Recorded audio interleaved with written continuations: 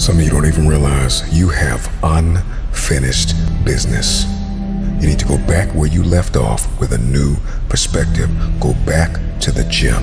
Go back to the drawing board. Go back to the business. Go back to the relationship.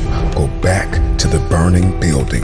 You have unfinished business. All you got to do is show up with a new game plan and a new perspective. You got to finish business. You have unfinished business. You got work to do. Perspective is everything. Let's go. I need you to hear me loud and clear. How you see this thing is everything. You cannot change the past, but you can change your perspective about it. You gotta see this thing differently. Stop complaining about the divorce. Stop complaining about the job loss. Stop complaining about the relocation.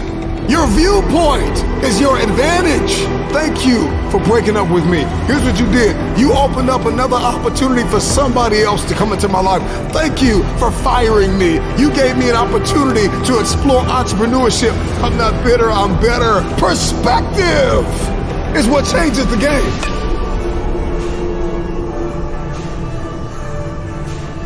Everybody wants increase and, and abundance and lifestyle change and new zip codes and new area codes, but you only read once a week and you only work out once or twice a month. And so the, the reason why you don't have what it is that you see, the reason why what's in your head is not in your hands, it's not your reality, is because your perspective opposes your potential. You don't have it because you don't see the value in it. If you believe you've been called to be the difference maker, the game changer, the disruptor,